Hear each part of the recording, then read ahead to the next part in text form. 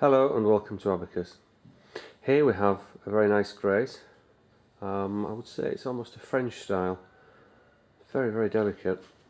Cast iron that has been burnished with quite a bit of brassware, decorative finials and scrolls to the legs.